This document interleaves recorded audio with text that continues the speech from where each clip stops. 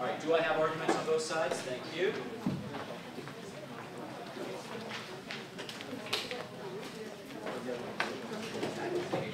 Uh, yeah, I do.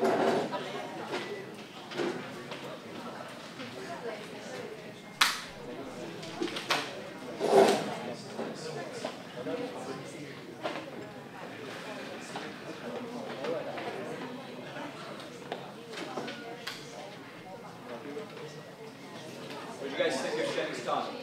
Really powerful, huh?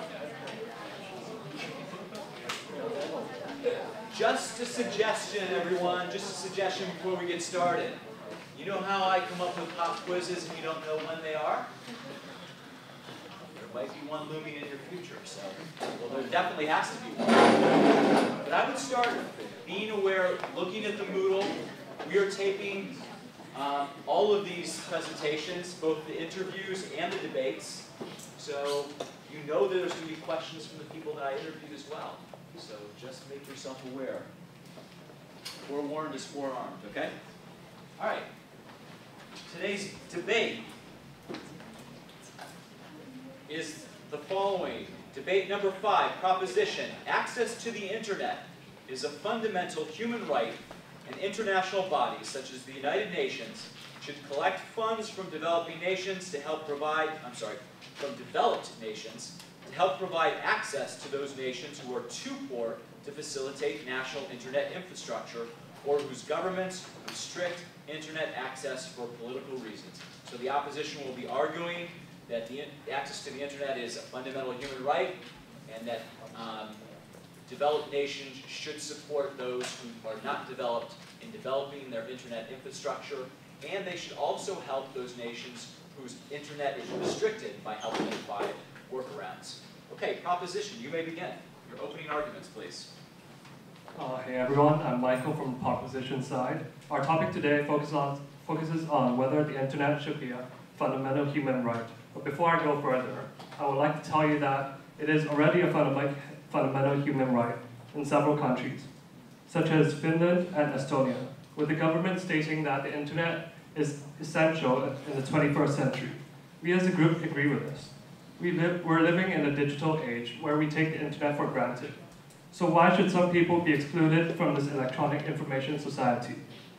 Tim Berners-Lee, one of the creators of the World Wide Web, stated that access to the web is now a human right. It's possible to live without the web. It's possible to live without, it's not possible to live without water. But if you've got water, then the difference between somebody who is connected to the web and is part of the information society and someone who is not is growing bigger and bigger. Through four separate arguments, we as a group will try to convince you to take our side. Our first argument is how the internet supports freedom of speech, followed by our next argument of digital exclusion and inequality. Our third argument is about the link between education and the internet, and last but not least, our fourth argument, which will be about the relationship between the internet and other human rights. Before I hand the mic over, I'd like to leave you with a question to ponder for the rest of the debate. How would you be living without the existence of the internet? Would everything be just as convenient? Would you be as free? Would you be spending your life differently? Thank you. Okay. Opposition, opening arguments.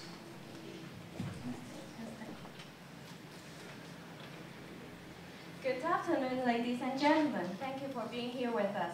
Today's motion is, since access to the internet is a fundamental human right, international bodies like the United Nations should collect funds from developed countries to provide access to the nations that may be too poor to set up networks or under strict political intervention or censorship.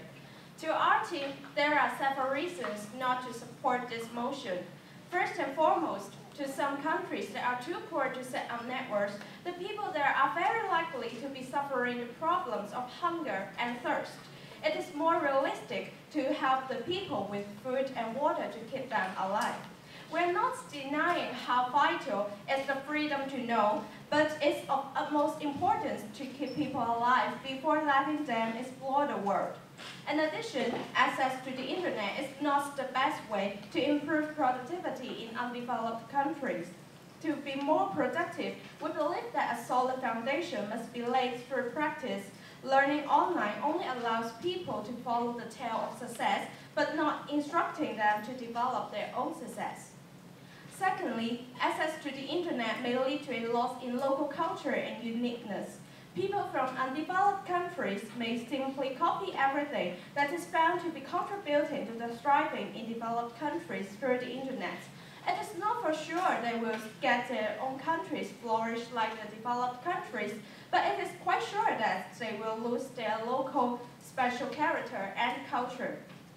Thirdly, series of individual and social problems may be generated by the internet in the countries that are too poor or ruled by arbitrary political power. For the individuals, a sudden availability of the internet may lead to addiction and overdependence. When more and more individuals suffer these problems, the society may be alienated.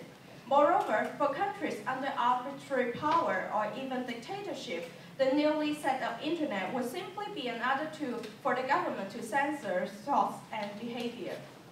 I hope I have offered a detailed layout of our team's opinion.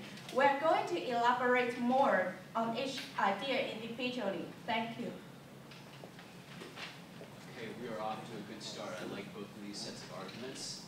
I think uh, you guys are anticipating what's going to be said, and uh, this is good. All right. Uh, proposition, argument number one. People should not be deprived of their internet access as through the use of the internet, people get to enjoy the rights of freedom of expression. And if the use of internet is absent in certain countries, this would be just as same as violating someone's human rights. The right of freedom of expression is recognized in international human rights law under International Covenant on Civil and Political Rights, the ICCPR. Article 19 of the ICCPR states that everyone shall have the right to freedom of expression.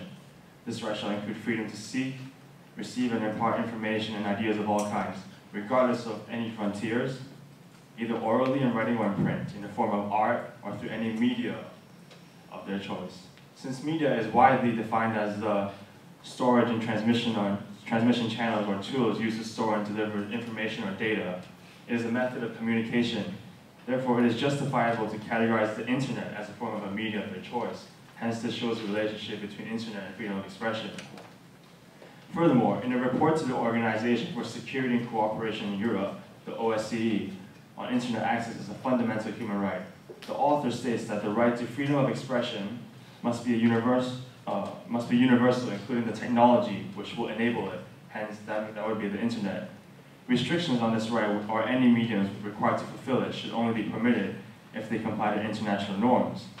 Uh, although there also although it's debatable that censorship could be classified as an international norm, uh, there are different degrees of censorship in different countries. Hence, this argument does not, is not justifiable. Furthermore, the professor notes in the paper that extra measures should be taken to ensure that vulnerable, vulnerable groups, such as children and people that uh, live in a less economically developed countries, should, uh, should have access to internet. Uh, lastly, there are already countries that have established internet as their fundamental human rights. So to conclude my speech, I would like to quote, uh, to quote the Supreme Court of Costa Rica, on uh, July 30th of 2010. They said that it can be said that these technologies have impacted the way humans communicate, facilitating the connection between people and institutions worldwide and eliminating barriers of space and time.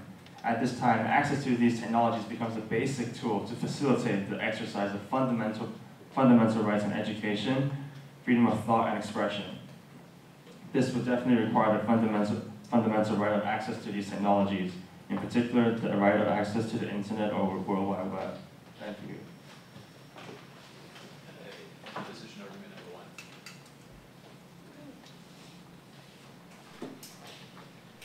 As many poor nations are short of basic resources such as food and clean water, our first argument is the United Nations should collect funds to help these countries to access these resources first, instead of helping them to build internet infrastructure.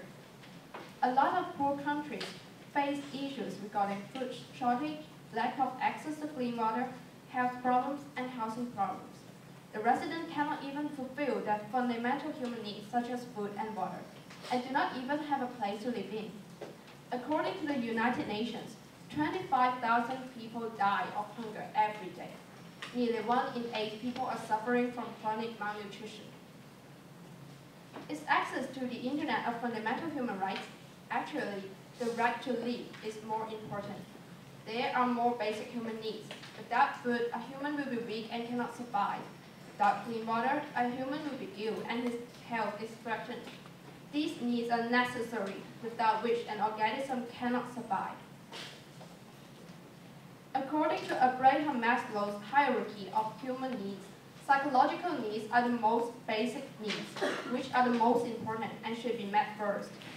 Access to the internet is indeed an important human right, but the protection of basic survival needs should be of paramount importance. Putting the significance of access to luxuries like the internet before fundamental survival needs is nothing but ridiculous. On the other hand, it would be a waste if the United Nations funds on internet infrastructure. People in poor countries may struggle to get the basic living needs first instead of using the internet. Some people may say that the access of internet can help poor people to acquire better production methods so that they can get food, water, and other fundamental needs by themselves. But actually, they can hardly advance in terms of production methods if there are no policies or government aid to help them in farming. Firstly, people in poor countries may have very low education level, thus they may not be able to distinguish a good production method online. Secondly, as the information on internet has different standards of accuracy, they may be fooled to believe something fake and rumors. For example, the South China Morning Post reported that after the 2011 earthquake in Japan, rumors triggered many Chinese people to buy salt as defense against the radiation. Obviously, this is because people are not educated well, and they cannot distinguish a rumor as true or not. Without supportive government and good education, internet cannot help people to increase productivity. You guys are right on time today. Okay, proposition argument number two, please. The second point is the correlation of digital exclusion and social exclusion. The definition of digital exclusion is the exclusion from the best use of digital technology, either directly or indirectly, to improve the lives and the life chance of all citizens and the place in which they live. First, vicious cycle. Digital exclusion adds force to the social exclusion and then creates horrible vicious cycle. Let me give you an illustration. Job opportunities. An unemployed man will find it very hard to get digital literate. He might have been financially excluded. The lack of money indicates losing chance of learning and information communication and technology, or even having his own computer. That, that means he would be denied access to the numbers of employment positions requiring IT knowledge and techniques for catching up the world movement like what we do in daily life, such as re- researching information on Google and sending formal business letter to another company to, through Gmail. The lack of digital sense leads to the reduction of his possibility of getting a job, and therefore further increase his degree of social exclusion. We can see nowadays digital exclusion is more than low accessibility to a computer. It can have a strong correlation with social exclusion of a sizable segment of the population. Second, the inequality. Digital divides also separates the social class in an unfair manner. Take a real life example how digital divide um, affect the society. Zimbabwe, having an adult um, literacy of nearly 90%, which is among the um, highest in Africa. The internet usage rate there is only 15.7%. That means in the total, total population of 1.2 billion, only 1.9 million people can enjoy the high quality public service delivered efficiently. So how about the rest of them? The other 1 billion people are not able to surf the net. The level of digital sense defines people not only by the job opportunities I have mentioned, but also their level of social class. Some of them may finally lead the advanced development of the country. The inequality of digital sense will finally lead to the trending of social exclusion within one society. Thank you. You guys must have rehearsed because your times are not perfect. Okay, uh, opposition, argument number two, please. I I'm Bosco Ho, and the second argument is about the addiction of internet and dependence on technology. The internet, usages, have increased to a point where more than 2 billion of the world population is now using. Yet more than one-fifth of their time is spent on social networking, such as Facebook and Twitter. The internet now impairs young, people, young people's mind. They are suffering from the addiction, which leads to lack of concentration, creativity, and bad education. In 2012, about 11,000 teen Chinese teenagers in Beijing were interviewed using different evaluations of diagnosis, and I found a link between the decrease in well-being along with internet addiction, in which students with lower self-esteem and depression have internet addiction. The research is about illustrates just how harmful internet could do to one's well-being for less developed parts of the world when they are being exposed to an overflow of information. Citizens will be very easily addicted to it. More and more of what they want and need are easily accessed. But is this a positive thing? Do you want people to be at their homes obsessed with the internet and not being out there helping to society when it's most needed? To individuals, the aiding from internet does not assist their everyday lives, but impairs their physical body and psychological mind. Eyes and muscle fatigue can cause the inability to perform the physical work they needed to do. This uh, this addiction then further leads to a jeopardy of attention spans to individuals, as they realize that the real world responses are not as quick and exciting when compared with the internet. They're, they tend to return to fast action and reaction motion screens and images only a click of a mouse away. Let's think deeply into the situation. When individuals get addicted to, to the internet, they cannot learn and work as efficiently when their brains are dissatisfied by the real world they live in. Difficulties arise from acquiring advanced knowledge or even finish up their work as it takes a long time. Quality and quantity of work produced will not be as good as before. Therefore, the economics, quality of life, and lifestyle will change. Please bear in mind, the United Nations collect funds from developed nations to help themselves and others in need. But if this operation backfires, it could cause worse development to the economy of the area. When nations themselves are too poor to facilitate, we aim towards basic needs instead of providing access to the internet that couldn't aid them properly. Thank you. Okay, proposition, argument three. Um, I believe that internet is a fundamental human right from the education perspective. According to the United Nations, education is a fundamental human right and is essential for the fulfillment of all the other human rights. In the past 10 to 15 years, the involvement of internet played a major role in revolutionizing the education system. It has reformed the traditional practice of education into a more advanced and highly efficient one. With the development of society, the relationship between internet and education will be increasingly inseparable. Therefore, we believe doubtlessly that an access to the internet is uh, indeed a fundamental human right.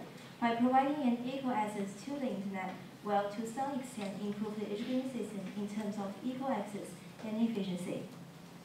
At the beginning of the 21st century, 98% of secondary schools in the United States and the European Union were connected to the internet. Doubtlessly, this major investment in education system is based on the great advantages that internet brings to education. Although the advantages are various, I want to emphasize mostly on how does education and internet jointly helps developing nations. Firstly, the ability to access a huge amount of information from library sources all over the world would help poor nations to compete with other nations and thus climbing the social ladder. Internet is not only an access to websites, but also provide knowledge and information on every aspect of the educational world. Those resources are very efficient for professionals and students to gain knowledge and also a way for students in developing countries to understand the world, at least more than traditional education. They will have a chance to compete with students from developing nations and thus they um, poor so without internet, poor would still remain poor. And similar to the second advantage, the providing of the international education, which means students with different backgrounds have a chance to access online educational courses provided by universities. For example, the online course of Harvard University. Therefore, I believe this involvement of new form of education will assimilate the traditional education system, which is high efficiency and will help poor nations to develop if if they have the right to access internet as every one of us has in the world. Moreover, if we focus on the idea of equality of education, developing nations has a right to access the same quality of education as other nations do. As the United Nations also pointed out, it is obliged for government to implement more effective uh, education strategies, which means internet access. Therefore, I believe the next World Conference will not only hold on education for all, but also provide internet education for all, which see internet as a fundamental human right among all people. Thank you.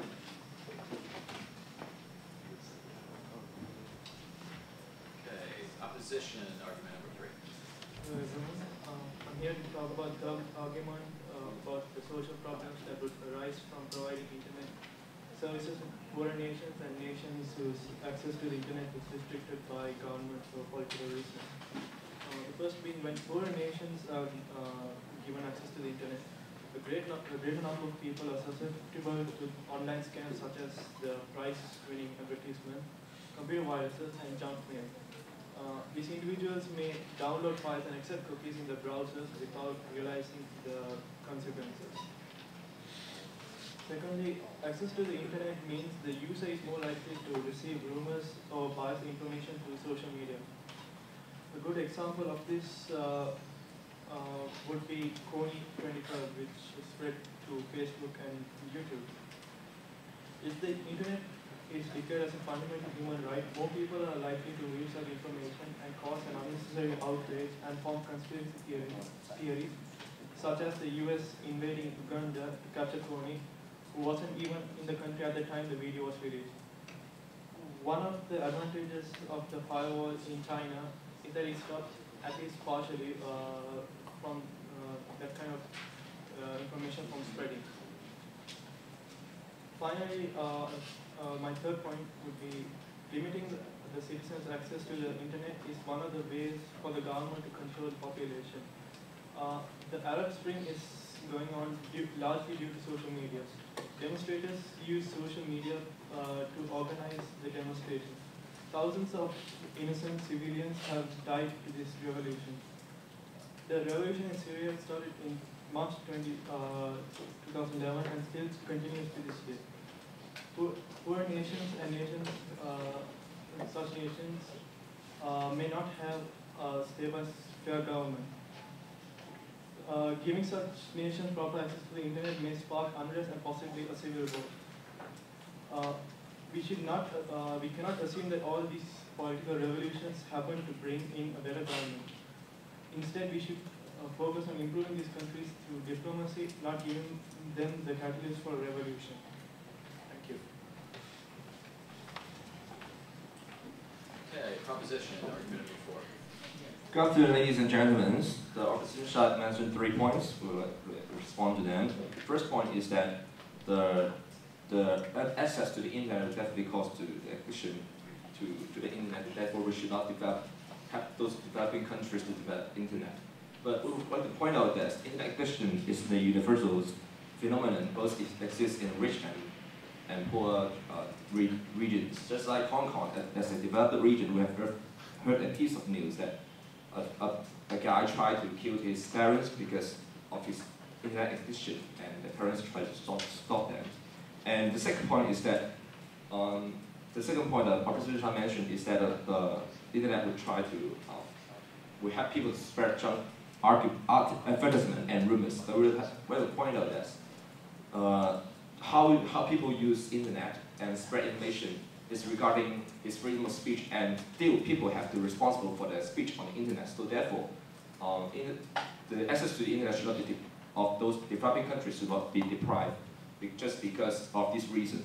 And the third point is that the, the internet will trigger political turmoils in those developing countries. But we would like to say that other basic human rights, just like right, the freedom of assembly is, is still a free, is, is a right of people, but it can be manipulated to help gather a revolution or other political activities. So therefore, should it, should it be deprived of just because of this reason? We don't think so. And we like to point out that the situation in some of the developing countries definitely requires UN money to have acquire access to the internet. One prominent example is China. China is not poor.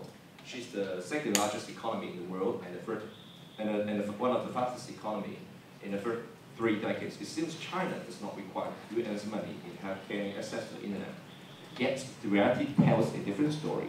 China's internet censorship is considered more expensive and more sophisticated than any other country in the world. According to the data of Human Rights Watch, more than 60 internet regulations have been made, which are implemented by professional branch of state-owned ISPs, companies, and organizations, which is so-called the Great Firewall of China. We will With accordance to how to study, under such Great Firewall, websites concerning the following political issues are often censored. Falun Gong, police brutality, Tiananmen massacre of, of 1989, freedom of speech, democracy Taiwan, 30 seconds. Independ independence, Tibetan independence movement. Firstly, one core element of human rights, the freedom of speech is violated, as the Chinese government not only filters unfavorable websites, but also arrests people who say it, or spread those information as a means of censorship. The arrest of Shi Tao, a Chinese journalist, because of his speech involved Tiananmen's massacre, is a good example. To safeguard the fundamental human rights, external assistance has to be offered, which the UN in this case. The Chinese government makes use of such censorship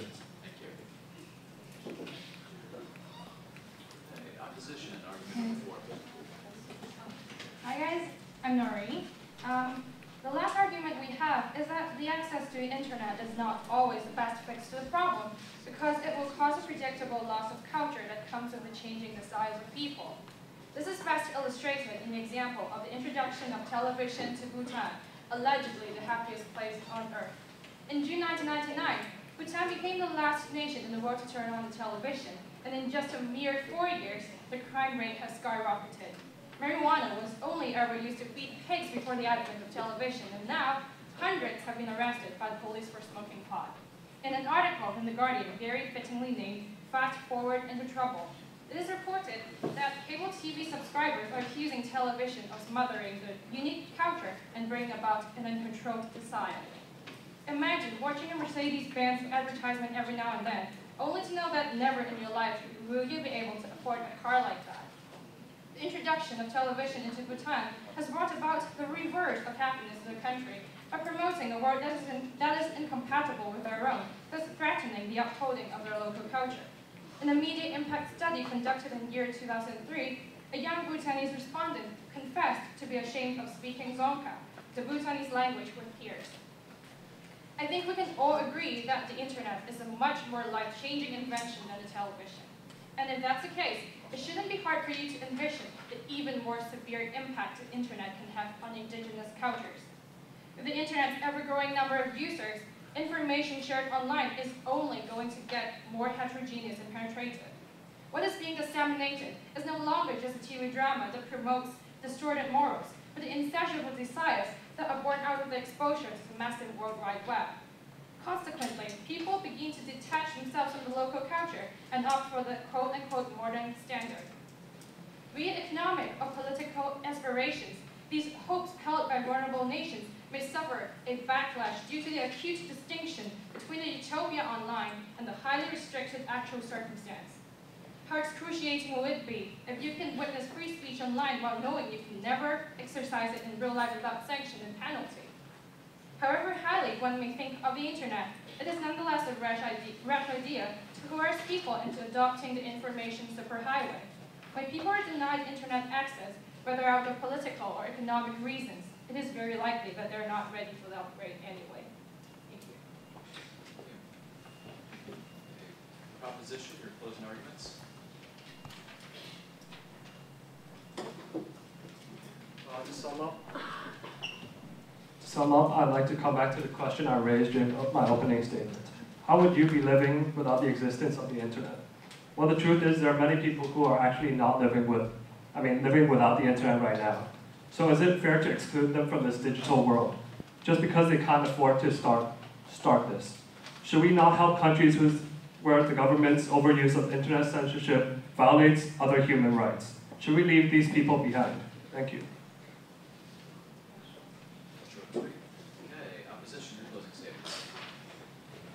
I hope our team has offered you comprehensive reasons to oppose to this motion. In fact, the internet was originally a military experiment project by the U.S. Defense Advanced Research Projects Agency. It is supposed not to be built for ordinary people like you and me.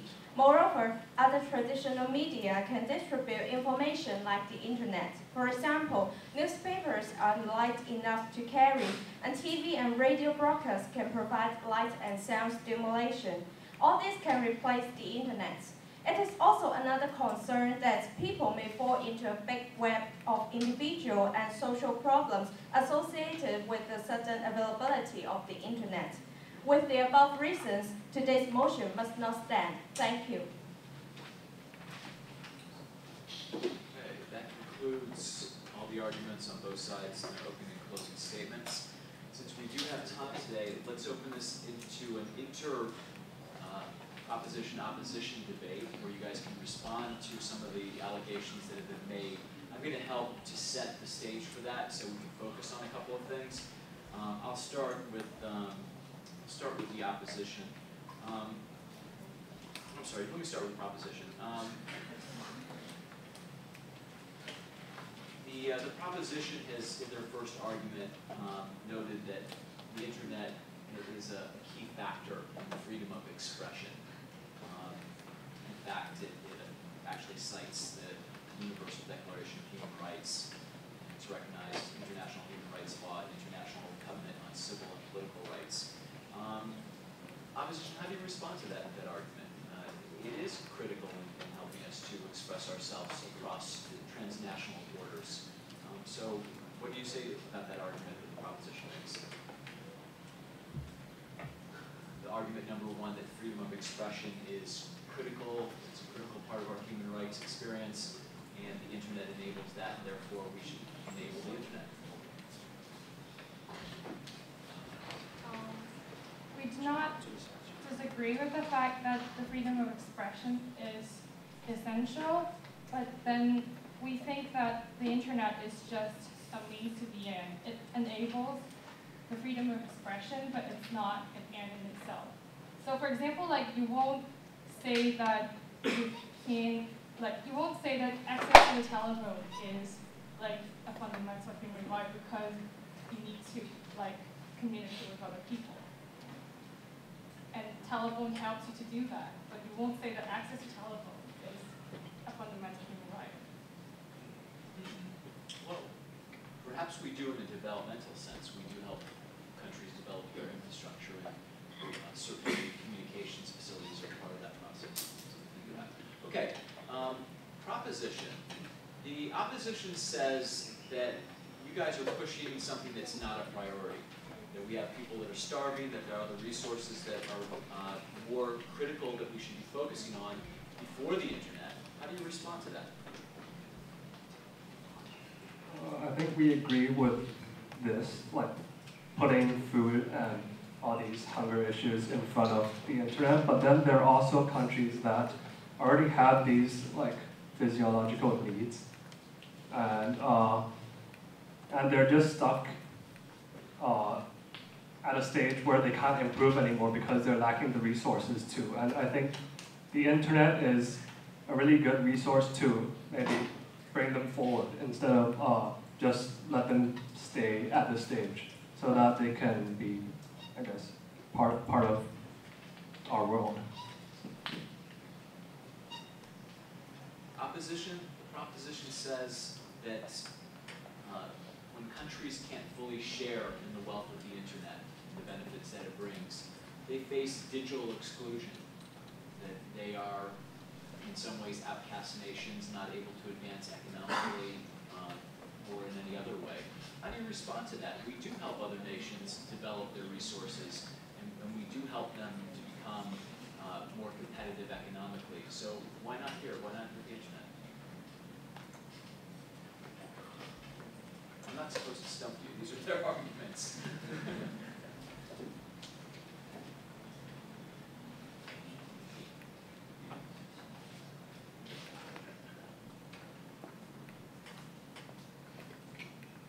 understood that, right? Digital exclusive.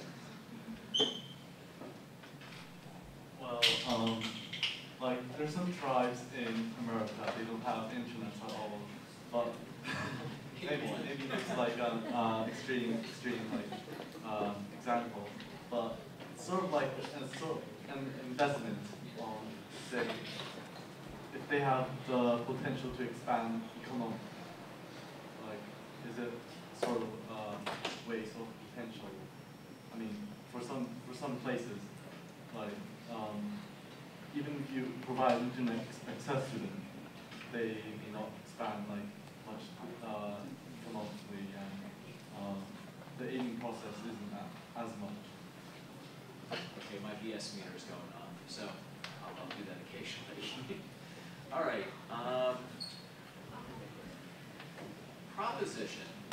The opposition says that the internet creates a culture of dependence on both technology and, and even kind of supersedes our ability to communicate and, and relate to each other. So, helping to propagate this, this technology creates the same kind of problems that we who have it are already facing, that we don't talk to each other. We, we can't do anything without the technology. How do you guys respond to that?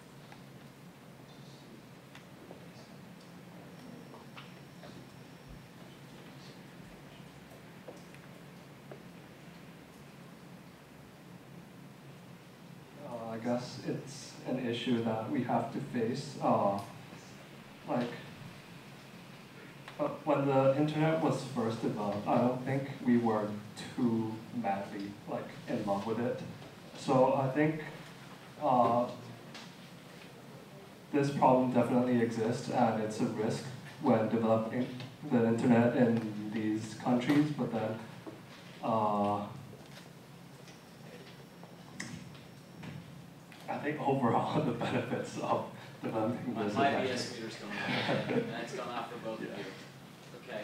Um, let me open it up to both of you briefly. Uh, is there any arguments that one side or the other has made that you want to take issue with now independently? Uh, opposition to the contend anything that the proposition has said overall?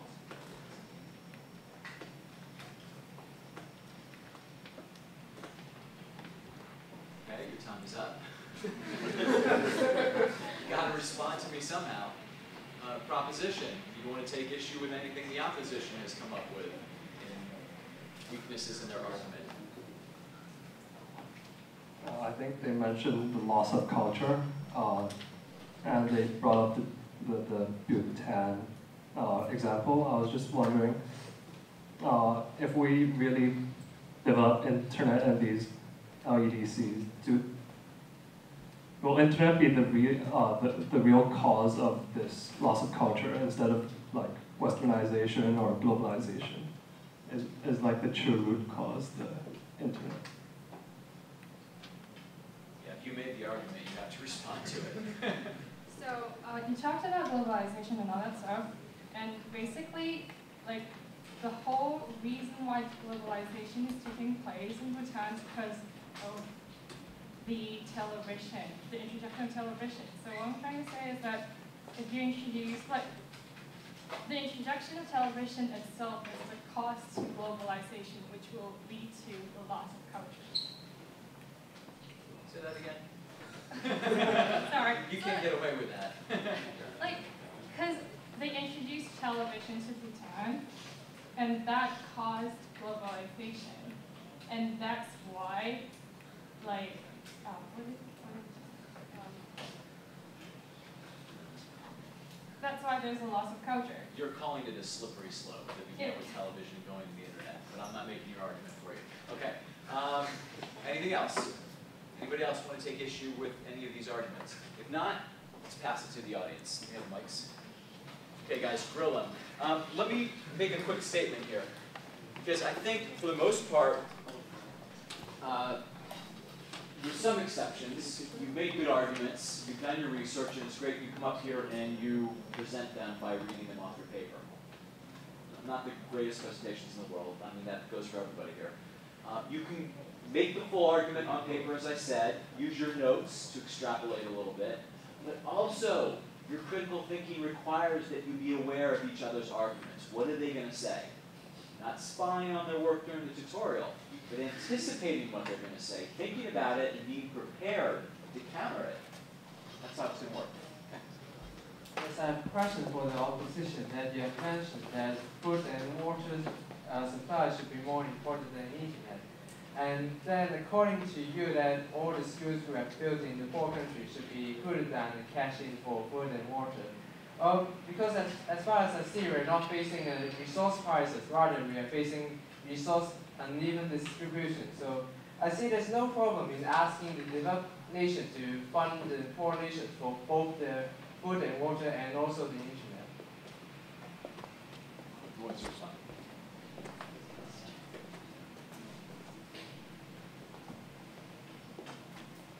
Um, I think that the food and water problem is a very urgent problem in undeveloped countries. So I think if the United Nations can um, can collect any funds, then the funds should be held um, to solve these problems first. You remember? Um, like, um, for example, in Africa, there are a lot of countries which both um, don't have food and clean water and other um, basic um, resources, and also they don't have the internet. So, but a lot of people is dying um, because of hunger, but it's not because of um, their lack of internet. So, which do you think is more important? Is of course they, they should be provide food and water first. Right, so we have to put down all the schools and stop funding them. So just return them to food and water. They just need food water, right? No. I think different undeveloped countries are developing um, uh, in different um, process or the, the stage they are at are different. For example, some countries they are fully undeveloped. That um, the people there are um, they do not have even enough food and water. And some countries um, they can the people there can basically satisfy the, these physiological needs. However, um, if they if the children there receive no education, they can um, they can just wait and consume the food and water they have and do nothing and uh, until um, they face another crisis that they are lack, lacking of food and water. So, um, and you said that uh, the, the undeveloped countries can ask for um, both the fund for food and water and the internet. I think that's a bit uh, impossible because um, you can't just simply rely on others to provide you everything that you need. Okay. Thank you. Next question. Um, I have a question for proposition. Uh, you mentioned that um, education is revolutionizing and it is very important for everyone in developing countries to have internet access. But in many developing countries, not many people actually have the basic right to uh, access to education either yet, and uh, let alone access to internet and the new types of transferring education through the internet. It's not really common in developing countries. So why do you think it has such an important impact on education there? All right, somebody's thinking back here. Thank you. Go ahead.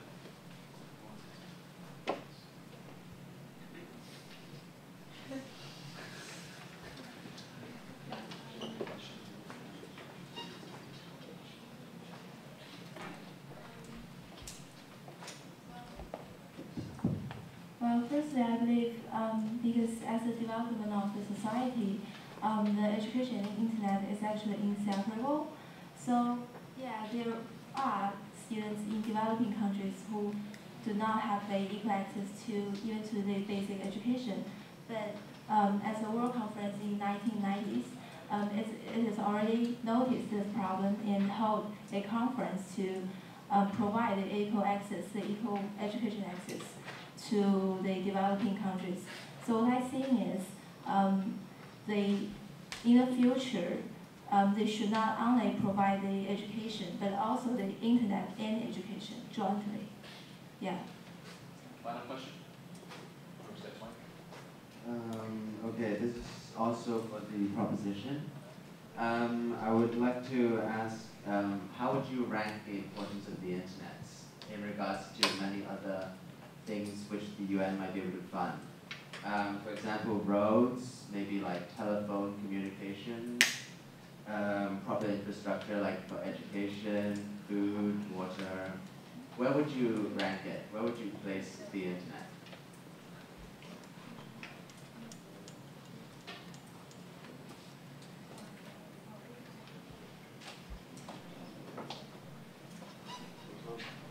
Uh, I think food and water should definitely be the top priority because without that we can't even survive. But then, uh, even though internet isn't on top, uh, it's probably even behind education. But then, uh, it actually speeds up these kind of processes, such such as education. So I, I'll just put it right behind education. And as for roads and stuff. Uh, I believe that uh, they are important, but then they, they should be, they, they, could be considered at the same rank as internet if, if I had to rank them. Okay. We've heard all the arguments today. I want to read you the proposition again one more time. That's just my phone. It's the policing. Um, all, all the time. But I want to give you guys a chance. So formulate your thoughts here. The two leaders of each of the groups, summarize your overall and strongest argument before we take a vote. I just want you to think for a second. Here's the proposition again. Debate number five proposition. Access to the internet is a fundamental human right, and international bodies such as the United Nations should collect funds from developed nations to help provide access to those nations who are too poor to facilitate national internet infrastructure or whose government restricts internet access for political reasons. Okay, everyone. So we're going to listen to the proposition. The idea here is the internet is an international human right, and that developed nations have a responsibility to help uh, less developed nations or those with restricted internet access to develop their infrastructure and to work around their restrictions. So the proposition will make a, quick summary. Don't read your opening statement again. Don't read it again. Make the strongest argument you have to get these people to vote for you. Well, I believe in the 21st century, the, the internet is essential for us because um, maybe before the internet was invented, we could, uh, we could, we could maybe access our human rights in other ways. But then now the internet is kind of essential for us to, to do this, like the Arab Springs, where we, they, they, they had to use the internet to express their freedom, uh, to ex express their views. So uh, our strongest point, I guess, is uh, the relationship between the internet and the other human rights. Okay. Opposition.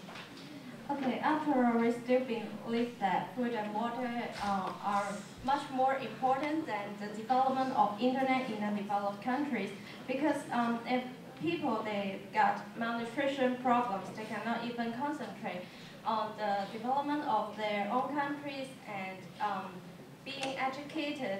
And also, they may be struggling to get basic resources like um, uh, the problems that many countries are suffering is the need for clean water source. And these, um, these fundamental resources are they are essential to the um, keeping people alive there. And we, this is um, a very important point that we must um, um, And your time is up. Thank you. Okay, sorry. I know it's really frustrating when I do that. Okay, you heard the arguments today. Um, there have been some interesting ones. There have been some weak ones. But now we come down to the real choice. With a show of hands, in the class, keep your hands up. Who believes that the proposition have proved their argument today? That the internet is indeed a human right that needs to be funded by more developed nations or to help restricted nations get around their uh, internet restrictions. So if you believe the proposition has proven their point, raise your hand and hold it up while we get a count. We'll both this, all right? No, you guys can't vote. Hold up really high.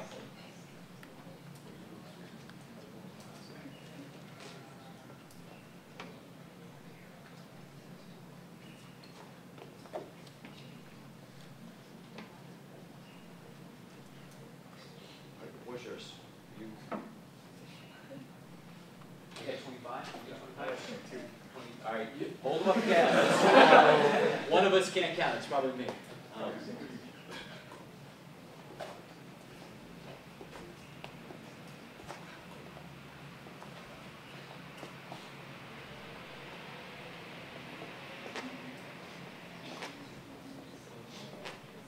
Twenty-two, you were right. I told you I can't count, okay. Twenty-two on the board, please. All right, those of you who believe that the opposition has made the stronger argument, please hold up your hand. Let's do the count.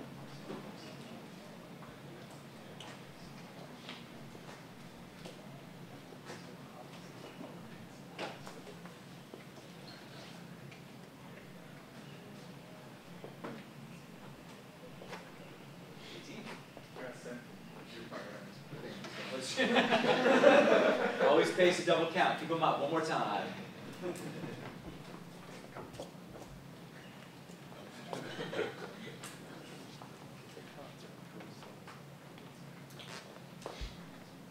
Seventeen. You were ready, Ken. I got, I got nineteen this time. Well, What we've learned is don't trust anybody named Kevin for math, okay?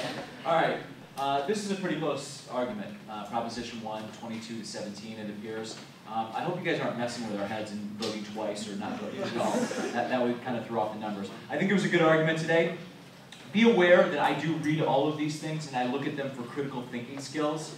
Uh, the other things that I grade them for, check your, your Moodle and you'll see there's a rubric and it gives you information on how I weight everything. There's 10 points for a certain thing, 10 points for another thing. Helps you to understand the whole process and help you develop your arguments.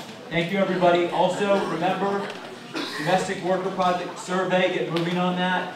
Um, keep in mind, pop quiz can come at any time, right?